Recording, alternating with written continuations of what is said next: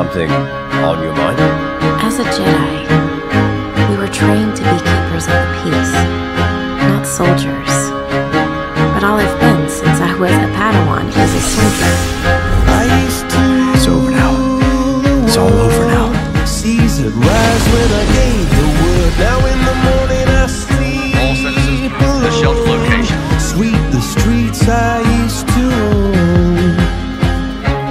What if I am choosing the life I want? What if I'm staying in the army because it's meaningful to me? And how is it meaningful? Because I'm part of the most pivotal moment in the history of the Republic.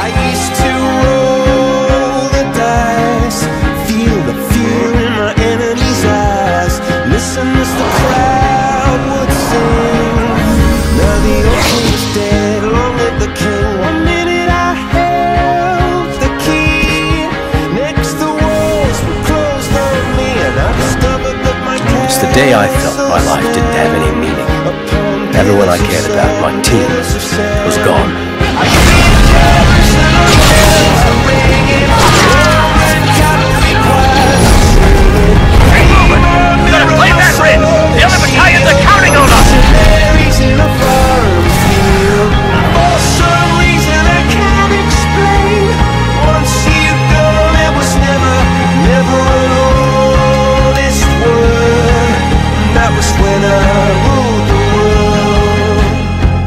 Most of us were either dead or severely injured.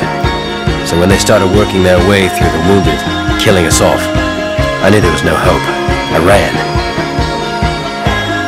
It still haunts me. It was the wicked and wild I'm sorry.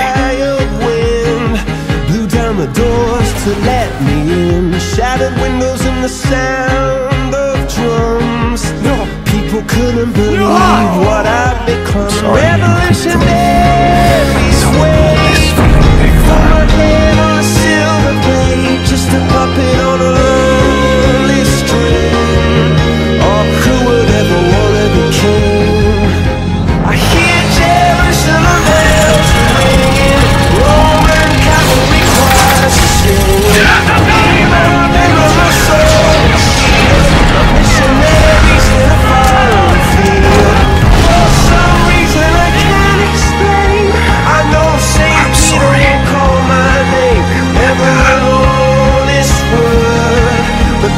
when I ruled the world.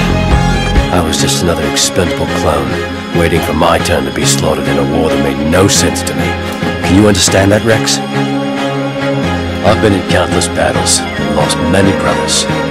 They were my family.